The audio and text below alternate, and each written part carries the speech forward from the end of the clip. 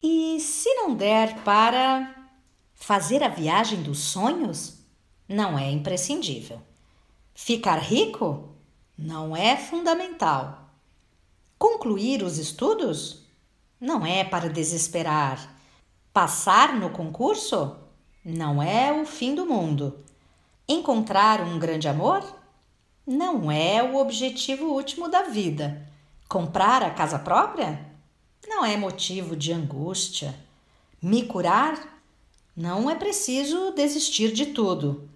Ser feliz? Não é o mais importante no tempo atual. Evoluir espiritualmente?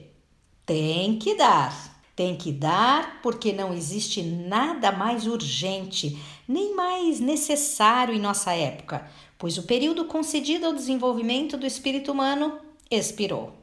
É imprescindível que nos movimentemos espiritualmente agora para conhecermos e reconhecermos as leis que se encontram no livro da criação e assim nos ajustarmos a elas ainda em tempo, com toda a seriedade e empenho de que formos capazes.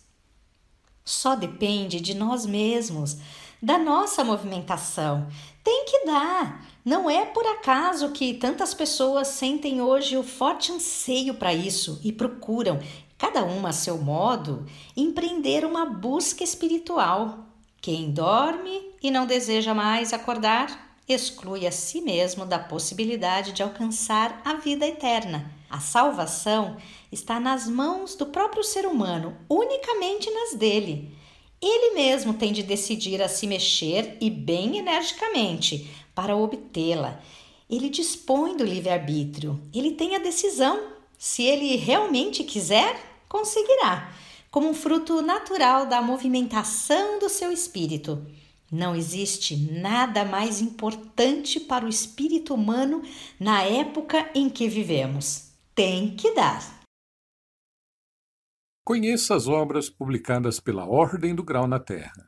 Acesse bit.ly, li com y, barra livros, traço, OGT. bit.ly, li com y, barra livros, traço, OGT.